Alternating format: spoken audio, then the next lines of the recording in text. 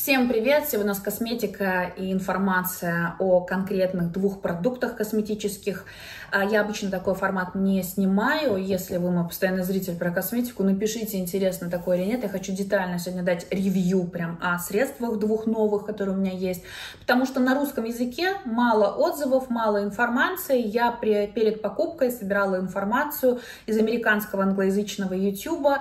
И я, честно скажу, э, разочарование я получила скажем так, я не до конца довольна этим средством, поэтому на русском языке мне хотелось дать какую-то обширную информацию про это средство, если у вас будет возможность его приобрести, чтобы вы, скажем так, делали это, исходя из э, информации, например, наткнувшись на мое видео. Прекрасный вот такой консилер от Наташи Дитноны.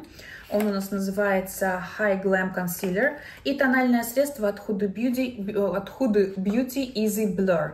Начнем с тонального крема, затем перейдем к консилеру. Мой запрос. Мне нужен был тональный крем с хорошим кроющим эффектом, скажем, с full coverage, э, средства, с которыми я сравниваю, которые я люблю. Конечно же, это Estee Lauder Double V, который у меня заканчивается. Для чего мне это нужно средство? Э, для съемки видео, как правило, не на повседневку. В повседневке я пользуюсь BB Airborne.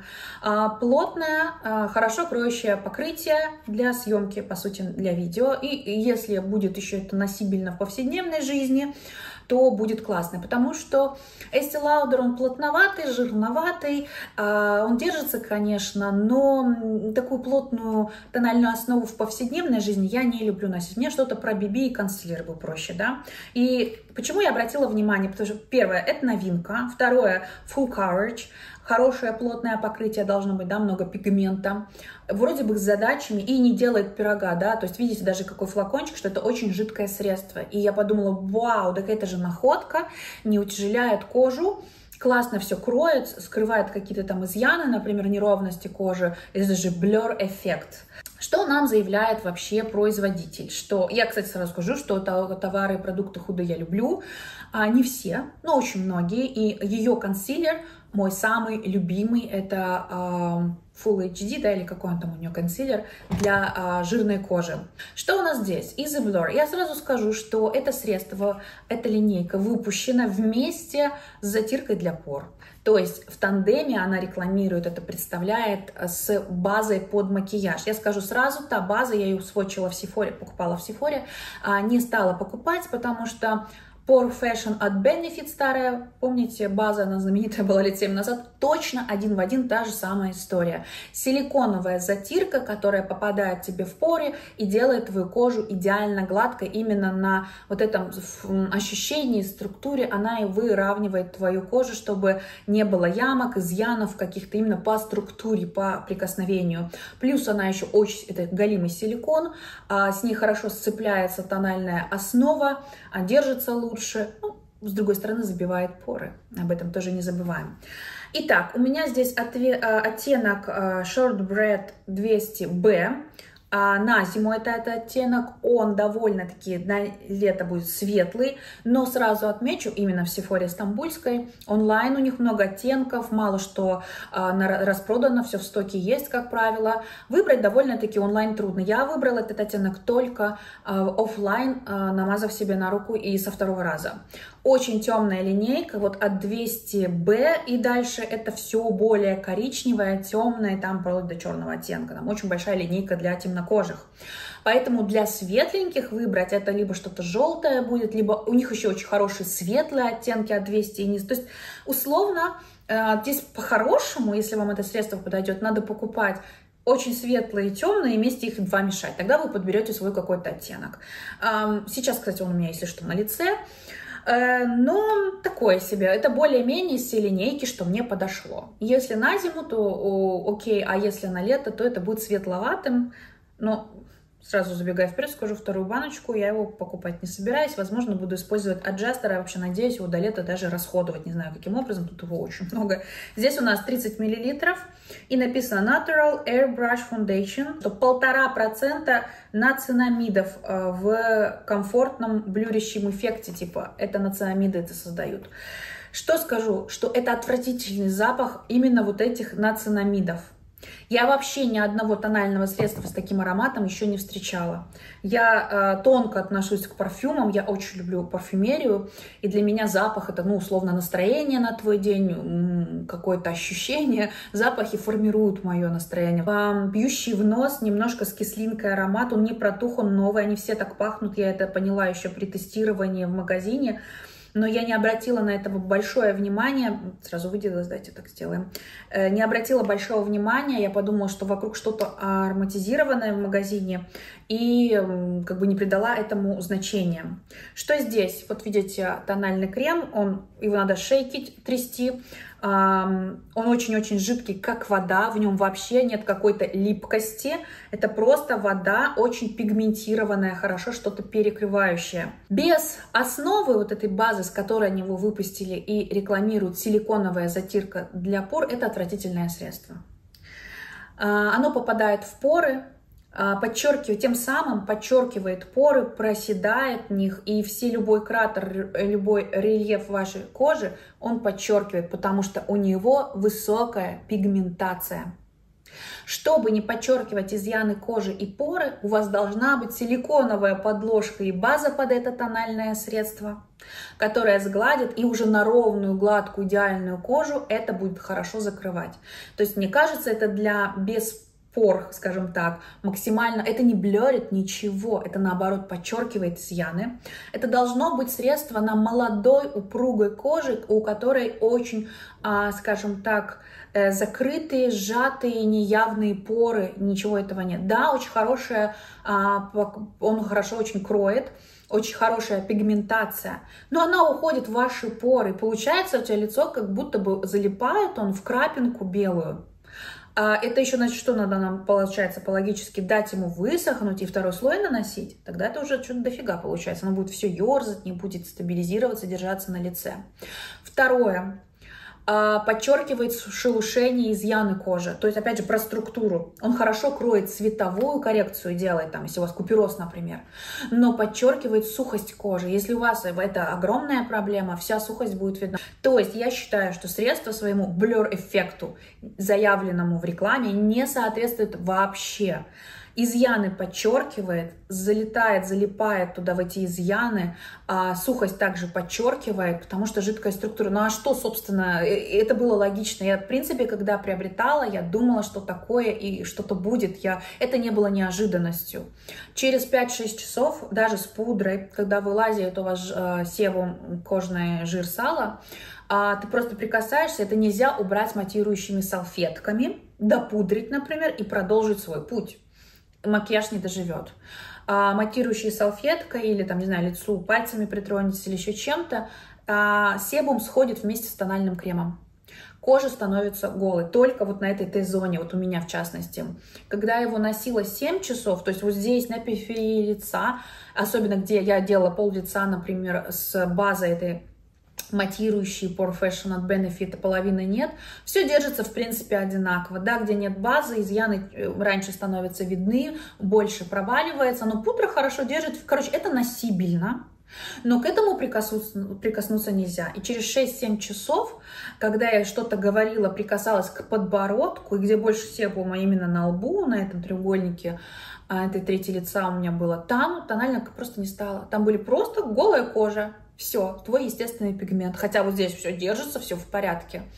Я могу сказать, что, смотрите, это очень странное средство. Для жирной не очень съезжает. Со временем убегает с лица, если ты притрагиваешься. Для сухой подчеркивает сухость. Это очень маленький процент людей, которые могут комфортно пользоваться этим тональным кремом. То есть ни сухости, ни жирности. У тебя какая-то комбинированная нормальная кожа должна быть. Без кратеров, без спор. Идеально. Тогда, простите, для такой кожи тональный крем и тонирование и не нужно вообще. Можно же без него, у тебя же идеальная кожа получается. То есть, ну, такая ненужная, беспомощная фигня, я бы сказала. А, также не с некоторыми пудрами, вот а, бейкинг пудра от Huda Beauty хорошо с ним дружит, она фиксирует, держит. Я вам показывала пудру, которую я недовольна, выбеливающая от Клей Депо. Она его вообще снимает, она его вообще не фиксирует, но она и не должна там, по сути, фиксировать, она такая чисто там для скрашивания, легкого матирования, но они вообще не дружат. А за кисточкой с пудрой уходит тональный крем. Это просто жесть. Я давала время усесться тональному на лице. Нет, он не начинает прилипать, куда-то впитываться. Ощущение, что он лежит на коже на поверхности. И в течение дня вот пудра ты прибил, и поэтому, когда ты трогаешь пальчиком, сказала, на подбородке, на лбу, он съезжает. Да потому что он не зафиксировался даже на базе матовой. Он просто вот так сверху и лежит. Что ему не хватает? Все очень предельно просто. Этому тональному крему не хватает плотности. Проблемы в его жидкости. И это его вроде бы плюс он легкий, а на самом деле это минус. Он не фиксируется. А плотные кремообразные текстуры, не водянистые, как этот, а тот же Estee Lauder, своей плотностью, некой вязкостью закрывает сам без базы поры, прилипает и держится на коже. Этот не держится, он скатывается. В летний, в жаркий период я вообще не представляю, что с ним будет. Когда я поеду в отпуск в такой климат, ну, не дожидаясь турецкого лета, я обязательно его с собой возьму, я попробую в этом климате. Я уверена на 150%, что за 5 минут течет в декольте. Он так-то не держится при нормальной сухой погоде, при влажном климате или жаре он вообще держаться не... Ну, это жесть, короче. Так что я это допользую, и я этим абсолютно недовольна. Я не буду покупать э, затирку для порых, которую они с ней предлагают, с этим тональным средством. Я не хочу танцевать э, с бубном рядом с ним, чтобы он там где-то держался, куда-то прилип и все вот это прочее. Еще купить и худину, пудру, чтобы это все зафиксировать и так далее. Идея классная, реклама хорошая, нерабочая история, на мой личный взгляд. У кого хорошая кожа, без сухости и без явных пор, вам это может понравиться. Я, может быть, со временем когда-то, там, через полгода о нем вспомню, вам дам в каком-то видео комментарий о качестве этого средства. Может быть, я его как-то смогу приручить и так далее. Но что-то я в этом, честно говоря, сомневаюсь. Скорее всего, нет, чем да. У кого он есть, кто тестил, пробовал, часы какие-то на коже свои носил, Расскажите мне, как, вы, как вам ощущения, довольны ли вы. А сразу скажу, что два раза в Сифоре мне не дали почувствовать э, неких изъянов. На руке сразу при сводче он кажется очень кроющим, идеальным вот этим жидким, прилипчивым, таким стойким. То же самое, все, что заявлено в рекламе. Но на лице Здесь явно не жирная кожа, да, а на лице прикомбинированной или склонной к жирности кожи абсолютно нет. Все эти качества теряются. И второе, тоже из разряда тональных средств, это прекрасный консилер от Наташи Диноне. Это, конечно, хит High Glam консилер. Очень многим он полюбился блогерам. И тоже отзывы есть, но они какие-то не открытые, не распространенные. Сейчас я немножко хочу уделить ему времени. Э, у меня оттенок R2. Я выбирала оттенок на сайте Наташи Диноны. Можно или в YouTube, на ее YouTube канале есть видео по подборке оттенка. Я угадала идеально. И если я его буду повторять, то я его приобрету уже а, в оттенке R4. Следующий идет потемнее, потому что это оттенок для меня на зиму без солнца. В летний период, ну когда экстра, тоже у нас будем, не забываем, я живу в Стамбульском климат, такое постоянно солнце, то есть э, это хороший, может быть, и на лето оттенок для девочек живущих там в Европе, в России и так далее, где мало солнца, например, то есть климат немножко другой. Короче, оттенок я выбрала идеальный. Это вообще, наверное, самое лучшее и легкое вообще, что можно было сделать по подбору тональных средств, каких-то оттенков онлайне. Это супер видео, реально работающая. Упаковка это акриловая упаковка, это не стекло, лаконичная, приятная. Здесь у нас а, прорезиненная крышка, детали, вот это какое-то, знаете, более розовое золото, идеальное даже внутри. У него ничего никуда не течет, не капает, не мажется вокруг. Идеальный вообще. А, очень хороший аппликатор в виде сердечка. Им очень удобно подлаживать э, под глаза, замазывать какие-то синички, коррекцию, точечно делать. Только я не только вот так плоской этой поверхностью наношу, но и точечно, например, куда-то на изъян какой-то вот этим острым кончиком. Короче, это очень-очень продумано, эргономично, качественно выполнено, супер. Ну и цена у него, знаете, не низкая. А теперь про свойства и качество. Мне очень-очень понравилось. Это тот консилер, который будет в моей косметичке на каждый день. И из немногих консилеров, которые я готова повторить. Эталон для меня по стойкости для жирной кожи, я сейчас говорю про комбинированную жирную, все вот это под глазами, и когда есть морщинки мелкие. Э, по этим критериям характеристику даю. Мой идеал это от Huda Beauty, прилипающего, стойкого, фиксирующего а, консилера я еще не нашла. Он сам, он даже лучше, чем а, Shape Tape, он суховат. Даже для жирной кожи Huda Beauty суховат, поэтому я искала какую-то альтернативу. Это очень хорошая альтернатива, он более такой смузи, да, он такой же плотный, очень пигментированный, э, не так быстро прилипает, застывает под глазами, есть возможность его растушевать, и граница он практически уйдет вообще. Его очень легко втушевать в границы всего лица, поэтому я его использую с вот этим от Худы тонаком, потому что это не очень хорошо держится и поры подчеркивает, или там какие-то изъяны. И вот с этим консилером в дуэте, потому что очень кроющий, хороший, он доделываю всю эту работу. На вот этой Т-зоне где-то что-то укрепить, подмазать и так далее. В общем, он такой классный, очень стойкий, много-много часов, не скатывается, если вы пудрой зафиксируете, скатываться сильно не будет. Но, скажу минусы, и это я сразу поняла, и это меня очень, это единственный минус, который меня огорчил из, из этого средства. А, это меня очень расстроило. Я увидела морщины, которых я не знала, что они у меня существуют под глазами, прикиньте. Не сразу, спустя какое-то время, когда он впадает в морщинки, он их начинает подчеркивать. И неважно, сухая у тебя кожа или жирная, или еще какая-то, ну, то обычно у всех, в принципе, более-менее сухая, либо нормальная, не жирная под глазами. Вы не поверите, я э, просто подойдя к зеркалу, не при всем освещении, но при прямых лучах, э, я увидела морщинки, которых я даже с консилером от худы не видела раньше, что они вообще есть, что их наличие. Он туда попадает, отслаивается, полоски получаются, подчеркивается тем самым текстура. И так как он очень фиксирующий, такой, как будто у него, знаете, ощущение потом пудровости есть. Ты нанесла, он жидкий, осел, сцепился с кожей или с тональным средством, и потом он как будто сам припудренный такой, да. А вот это ощущение винила какого-то, а, оно сохраняется очень-очень долго в течение дня. Но при этом, если у тебя там морщинки, где он был нанесен, оно подчеркнет вот эта пудровость в нем, подчеркнет эти морщины. Соответственно, это очень крутой, стойкий, хороший консилер, не сухой по своей текстуре, да, когда наносит, не сушит кожу. Для а, молодого века, и вообще он очень хорошо подойдет вот сюда, где есть синяки, вот это супер перекрывалка, а, такая не сухая для вот этой зоны, но где у вас вот здесь морщинки мелкие, если мы туда его доводим, подчеркнет, скорее всего, вы офигеете от того, что у вас этого даже вы не видели, что оно у вас есть. Может быть, есть вариант подобрать какую-то специальную хорошую пудру под глаза туда, но я думаю, что это не спасет ситуацию. Через 5-6 часов это все будет все равно видно на поверхности. Консилер стойкий, классный, для молодой кожи, где нет каких-то изъян и морщин. Хорошо перекрывает, держится. Легко можно по ее видео обучающему на расстоянии, скажем так, онлайн без затеста выбрать его оттенок хорошее, достойное средство, может быть, куплю еще раз. И, э, у меня три есть э, самых любимых консилера, из которых я вот на данный момент фавориты. Все равно по стойкости на первом месте это Huda Beauty. А, второе место это я отдам Наташе Динона. И третье место – это старый консилер от Clarins. Его какое-то время, пару лет не было вообще на рынке. И они перевыпускали, ничего у них не вышло. Это получился полный отстой. Но они вернули в производство даже в той же бутылочке, в том же формате, как он был раньше. Такой с пипеткой жидкий консилер от Clarins. Я его хочу повторить. Он у меня был очень-очень много лет назад, две, два или три раза.